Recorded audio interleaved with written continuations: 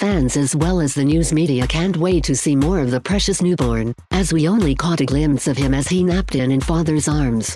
When the Duke and Duchess of Sussex make their next appearance with their son, there will certainly be plenty of photographers just waiting to get a picture. So, will the media be more focused on baby Archie than the Cambridge kids? We saw the Cambridge kids as soon as they were born. Although we didn't find out their names for a few days, as is typical royal protocol, Kate and William wasted no time introducing their kids to the world.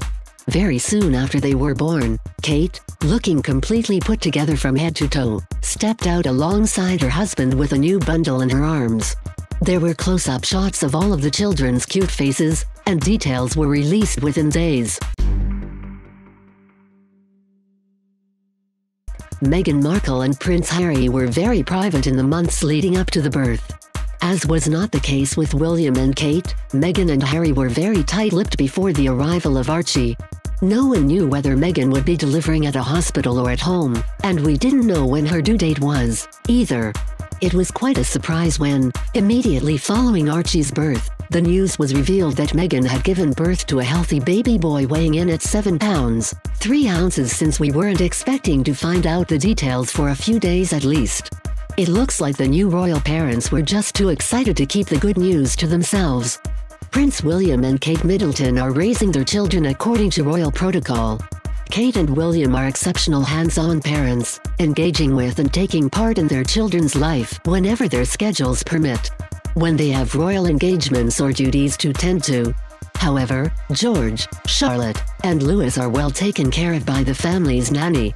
We don't see pictures of them very often, unless it is at an official event, such as a wedding, christening, or an appearance on the balcony of Buckingham Palace.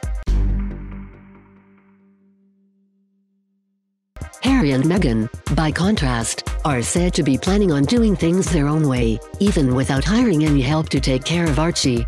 This has, of course, piqued the interest of the news media as well as royal fans, as we can't wait to see what is in store for the newest member of the royal family. The media will take an interest in baby Archie. Chances are, the news media is anxious to see what Meghan and Harry's parenting guidelines are going to be.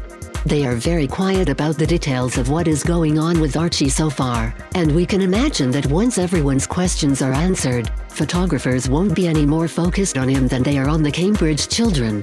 Most likely, we will see Archie at royal events, just like we did with his cousins, and we certainly hope that Meghan and Harry are planning some official family photographs sooner rather than later. Just like everyone else, we are just waiting to see what the future holds for Archie Harrison.